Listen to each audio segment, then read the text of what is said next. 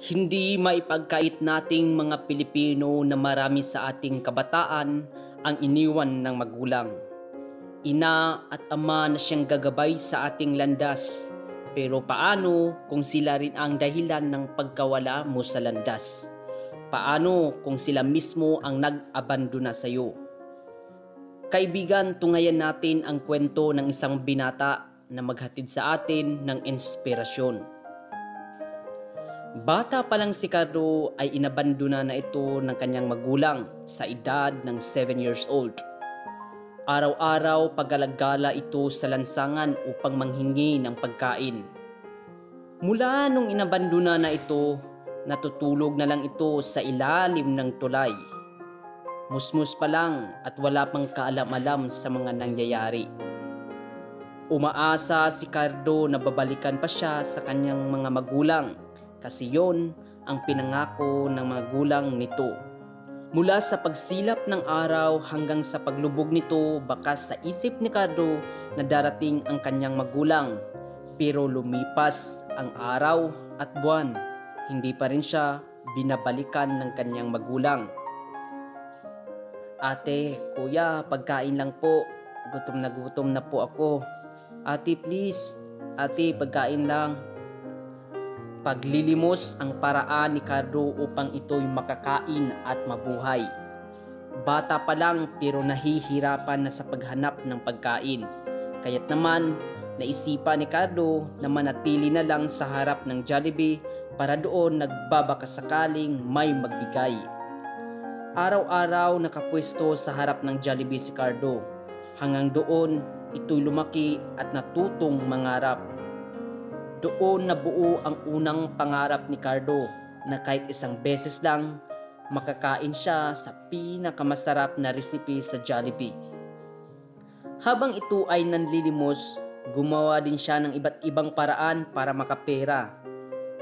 Nagbenta ng balot, nag-car wash at iba pa. At sa unang pagkakataon, nakuha rin niya ang gusto niyang kainin. Pero hindi doon huminto ang pangarap ni Cardo. Ika nga, libre ang mangarap. Sa edad na 15 years old, sinimulan niyang hakbangin ang mabigat niyang pangarap. Mabigat ito dahil isa lang siyang simpleng tao at nanlilimos lamang. Pero dahil sa lakas at tapang na loob nito, nagporsigi ito sa abot ng kanyang makakaya.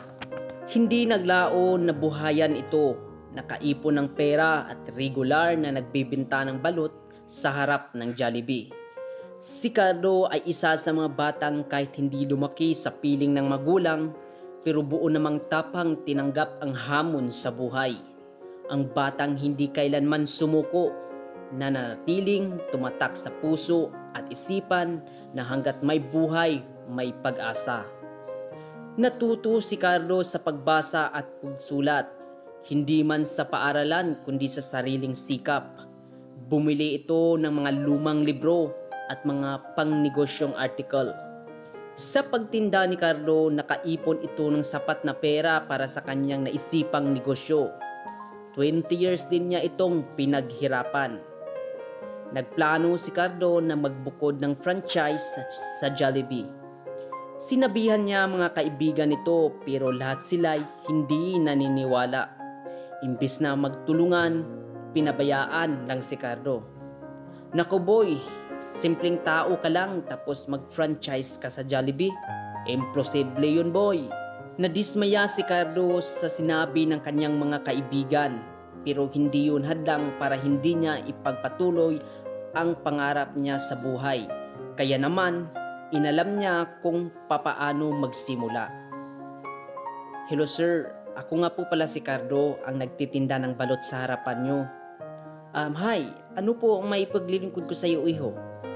Uh, sir, tanong ko lang po kung ano po ba ang requirement o qualification, sir, kung mag-franchise po sa Jollibee?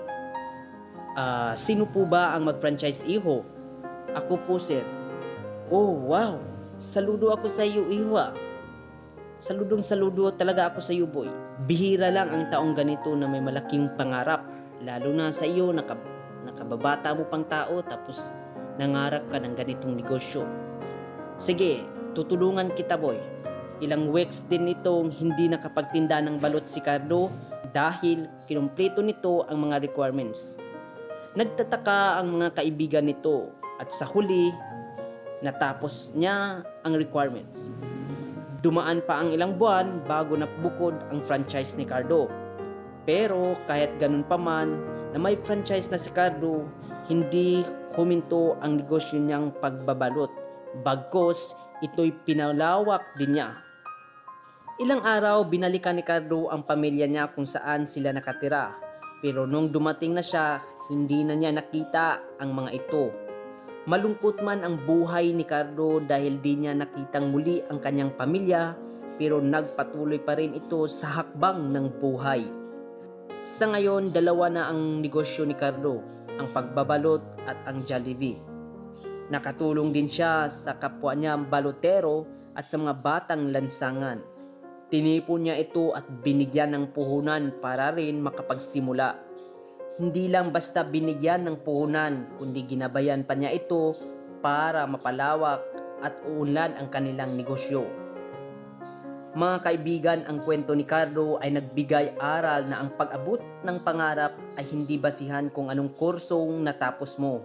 Nagpapatunay ito na kahit di ka nakapagtapos sa pag-aaral basta may pagpursigi sa buhay na makuha ang pangarap sabayan sa diskarte, ito'y iyong makamit. Ikaw kaibigan, ano bang aral ang natutunan mo dito sa kwentong ito?